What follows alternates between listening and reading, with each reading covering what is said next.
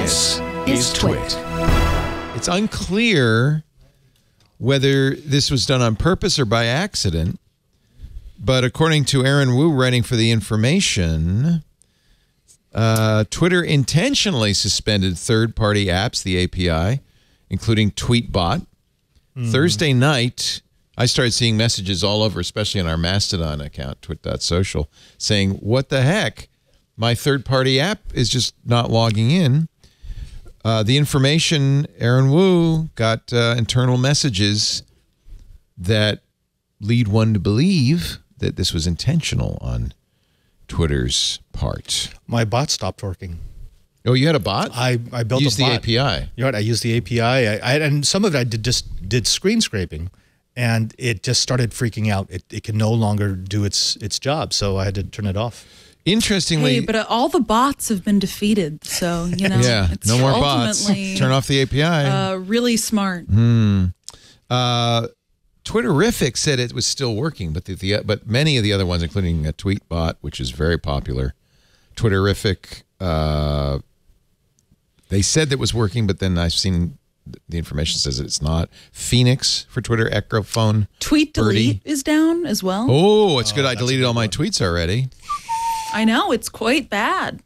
Well, there's a positive side to the story, uh, and, and that's that it seems that Twitter did it on purpose rather than this accidentally happening because something they changed. Here's what the information learned. Uh, they saw a internal Slack message from a senior software engineer on Thursday night saying, "quote Third-party app inspe- uh, suspensions are intentional." Uh, Yesterday, the information tried to contact that engineer. He refused comment. The internal messages I'm reading from Wu's uh, story, seen by the information, also show that Twitter employees have been discussing when the decision would be announced publicly. Well, not yet. no one. It's one of those big mysteries. Uh, a Twitter employee working. I mean, I think part of it is who would be announcing these things. Twitter has a skeleton staff, and almost nobody from comms. They have no I mean, no one from Yep. comms is left. No PR, no comms. and HR uh, is a skeleton. apparently, the API engineering team is mostly gone as Yep, well. yep. So they were in the first round. Yeah, who would announce this? I don't know. A Twitter employee working on project product uh, partnerships asked on Friday morning when employees could expect a list of approved talking points. You're all in comms now. For questions from partners related to third-party clients revoked access. Do you want to talk about how the information gets this information, uh, Paris, or is that a s- state Um, secret? I mean, I guess it's somewhat a state secret, but it's the same as all I think journalism happens. We have reporters who their job is to build up kind of networks of great sources, people either inside the company or people f- familiar with these decisions, and uh, they're in constant contact. And so I remember kind of seeing in certain groups with colleagues over the weekend of news breaking internally that this was happening, and they turned that into a story. Um, I think especially uh, Aaron Wu, the reporter who uh, did this, has been producing really fantastic work for us on the Twitter beat. Uh, and I think that it's kind of, I mean, a lot of, so many journalists have, because it is such a, I mean, the story is ever changing, and there are employees constantly on the ins and outs with Twitter leadership that are willing to talk to the press about what's going on. That's basically what's happening there. Yeah. And so you're seeing these Slack messages because they sent you screenshots or, or the like. something like that. Yeah. Paul Haddad, who uh, write is works for Tapbots and uh, writes Tweetbot, uh, tooted on Mastodon.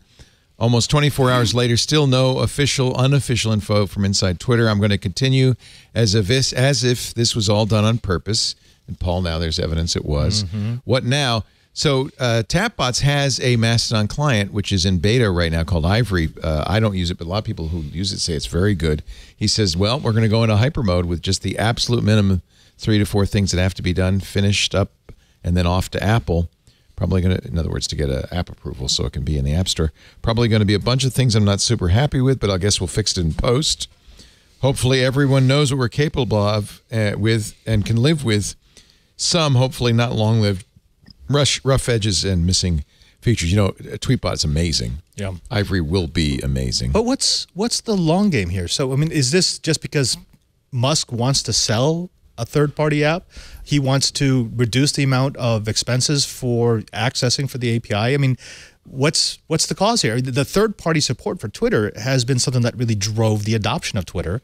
So are we just now saying, well, we're done. We've got all the audience we want, and uh, thank you very much. Well, remember, this is not the first time Twitter did this. They did Yeah. it some years ago, and actually, I think Jack Dorsey uh, uh, has later said that was a huge mistake to cut off the uh, third-party API. I suspect it's just as simple as we want you to use our webpage and our app. Okay. And if you, uh, the new Twitter, I, we haven't talked about Twitter in some time, so I apologize for people who thought this was an Elon Musk free zone. But but if, occasionally we kind of have to we have to mention this. You smell that? That's the musk. oh no! Such an aroma. You've been sprayed. Well, and I don't use Twitter anymore, so uh, I'll defer to the. You're do you- a you're a toot man now. I'm a tutor. We have our own Mastodon instance. We have for years. It's quite nice. And I thought, well, you know, I don't. I can easily leave Twitter without any consequence. Uh, although I have more than half a million followers, some of whom are actually humans. And uh, was the breaking point when uh, Musk started calling himself the chief twit? that was a big one. I wasn't happy. That's the name I've used on my socials since 2007. Somebody must have told Elon because he stopped pretty quickly, but that didn't mean that, uh, that he wasn't. He isn't still being called that by mainstream media.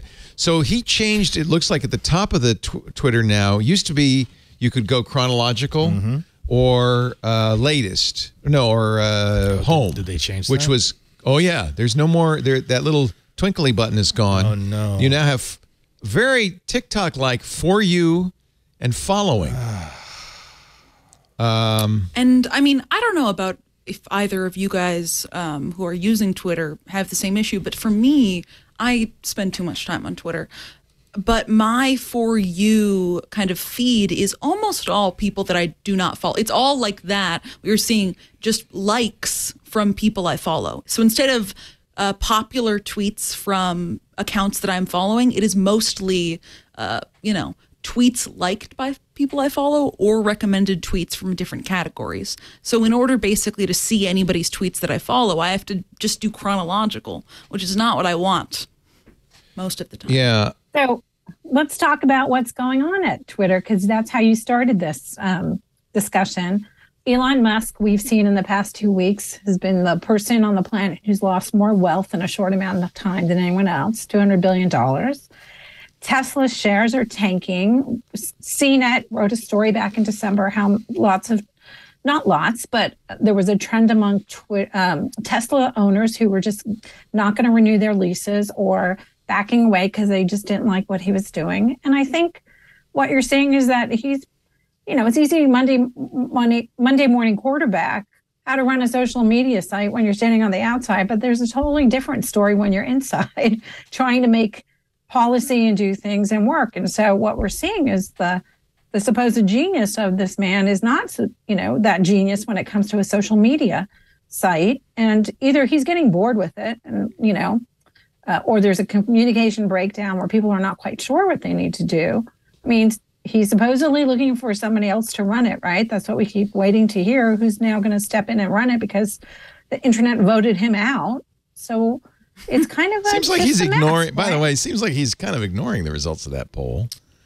Uh, I think it's notable that even after that, he was like, "Yeah, if I find someone new to be CEO of Twitter, they'll be CEO, but I'm going to run all the tech and Yeah. like Yeah. I'm gonna still like, run it. Sure, Yeah. yeah. you know, CEO. So, um, Scooter X in our chat room says, uh, "Tell me if this is still the case, Scooter X. That some of these third-party clients are working again." I see your tweet. Um, I again, I I don't have a dog in this hunt anymore, and I'm very happy that I don't. Um, but I think there's still a lot of people who care uh, deeply about what happens to Twitter, right?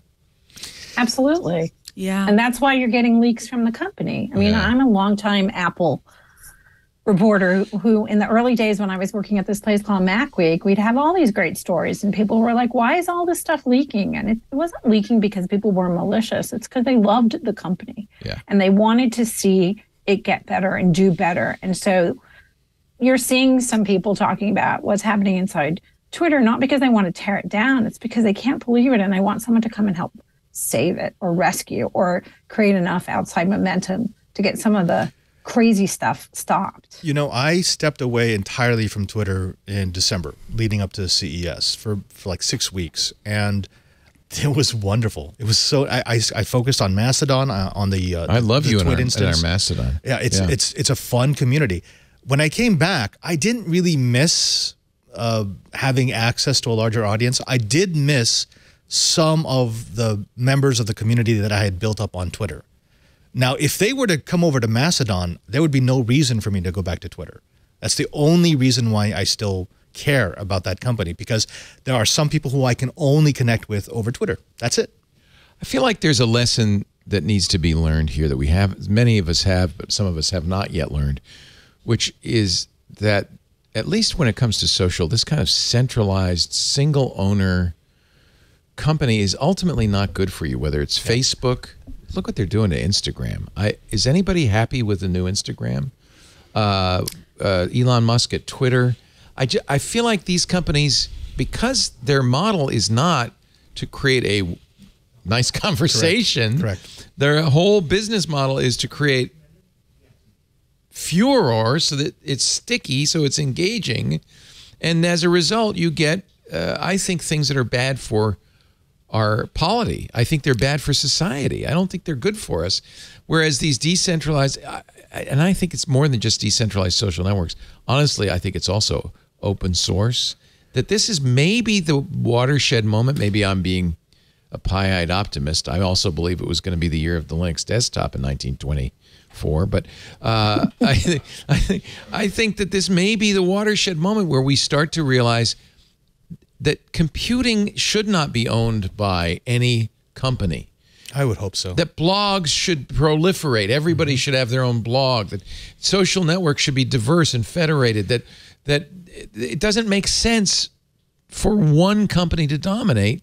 It's bad for us. Except, and we did a big meeting in the Vatican on this. Uh, it, we Did you? it, yeah, it's uh, common common good in the digital age. Exact. If anybody should support open source, Yeah. it's the Vatican. And and actually, they asked me about that. They said, "What is so sticky about Facebook or Twitter or any of the other social media services?" You know, we had mass communications Can you say Satan? Well, no, it, no. The, okay. the key word was That's what came to mind. I'm sorry. the key word was outrage. Yeah, it It's is. It out- is. That's how social keep- media That's how they make you. sells on outrage Yeah. because outrage spreads so fast, and outrage motivates more than anything else. Because if I can get righteously indignant about somebody else, about what someone else did or what someone else said, uh, that spreads. That spreads. Now, if I write this wonderful story about how there's a woman in Philadelphia who is taking care of homeless children, that will get like maybe Yeah. a day of coverage. But if I write about how there's a woman in, in Pennsylvania who has abused homeless children, oh my God, she will be the But most famous person news. ever. Local news has never been about good news. Newspapers have never been about good news. But it's They- reach. If you want people to read your paper or watch your TV show, you get them. It doesn't have to always be anger, but you get them. you get them revved up But somehow. the, the loop, the feedback cycle on social media, the fact that you can get that It's anger instant. cycle so Instant. quickly, Yeah. I mean, it's those little mini hits of dopamine. So I guess that's my question. Why are we trying to save Twitter? It's community. It's uh, honestly, it's the community. Because that's where your friends are. yeah. Now there But are that's their that's to me that's the heroin dealer's hook.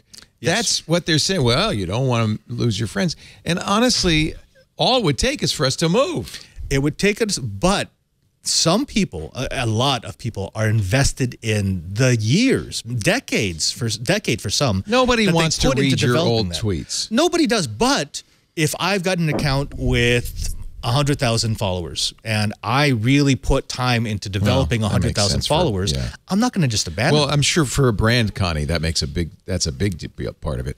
I mean, I I would love to see CNET say no more Twitter. It's ridiculous, but you can't do that. We don't even do that. Twit doesn't even do that. You Well, tried to do that. I did it, but I I can't get the company to do it. So, as, as somebody who's been in the tech industry for a long time, things come and go, right? And uh, right now, should we save Twitter? I don't know. I mean, yeah, am I, am I used to it? Do I know how it works? Have have brands built communities? But it's also there's a lot of negativity around there, and we saw a lot of you know bad things happen to brands when anybody could get verified That's right as a brand and started putting out misinformation. Yeah, there are a few So- brands who wish they weren't on Twitter. Yeah, yeah. that's right so i think what we're looking at I, I agree with everything that's been said about the toxicity that brings that social media has brought to the world and all of us spending way too much time looking down and being in these echo chambers that are being hijacked by disinformation and propagandists and outrage cycle drivers so then the question becomes what what is the next thing that might inspire and engage people? For a while, everyone thought it was going to be TikTok, just these short little moments that made you laugh. But then there's the Chinese government behind them and who's collecting the data and for what purpose. I'm not saying TikTok is not going to be successful or continue to to have a lot of traffic, but what's the idea behind it, right? And what's the next level of social engagement that we want to have or that we want to walk away from? So that's the discussions that I think are going to start, especially if more governments, Europe will be ahead of us in the US, start looking at these big tech giants and saying, no, we don't want you to have all that power. We want you to want, want to rein you in in some areas. We're just at the beginning of that. Connie, can I invite you to our next conference in the Vatican? Yeah, no kidding. I would absolutely, as a good Catholic, I would love to come. Okay.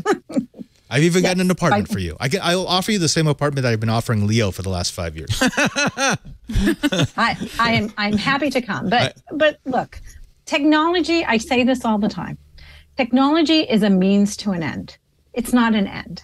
And at the beginning, the promise of places like Twitter and Facebook was to connect people in a more easy way, where you got out of touch with you know your high school classmates or your college classmates, and now you can get back in touch with them. Or you want to create um, communities. You know, who wants to go to a movie night or have a potluck? That was the promise. It's been co-opted by people for nefarious purposes. So it's the technology inherently isn't bad. It's how it's being co-opted and used by people. And and and part of that is that we've kind of let it happen. We just let it, Yeah. you know, whatever happens, happens. I love the idea of sitting back like you're doing uh, uh, at in the church and saying, well, let's think, let's be more conscious about what we do next and think about its impacts. I hate to see, and I do think there's a certain amount of moral panic, uh, for instance, around TikTok. I hate to see people say, well, it's big tech, so it's bad. right. But at the same time, I think little tech is better. you know, I really do. I think personal tech is better, small scale is better, and maybe it's time to wean ourselves off of this adrenaline dopamine hit that we get from going to places like Twitter. Uh, and and and yeah, you know, you go to Mastodon, it's not quite so exciting. There's no buzz. It's just conversations. It's pictures of the Vaticats. it's kind of pleasant in a way that, that Twitter isn't. And maybe we just need to get used to, you know, kind of. It's like a, a sugar addict. It's at first it's very hard not to eat stuff loaded with sugar, but uh, I don't know. One of don't the know. I feel like issues there's a better way. is a one channel. So one channel was a strategy that has been developed by um, enterprise communications companies that allowed companies to have quote unquote one channel to to touch bases with their customers, and that meant it combined the feeds from social media, from oh, their That's own internal communication systems, emails, et cetera, et cetera. Internally, that's what they saw. Right. So they they wanted the customer to be able to move from one type of communication to another, and you continue the conversation. Is that still?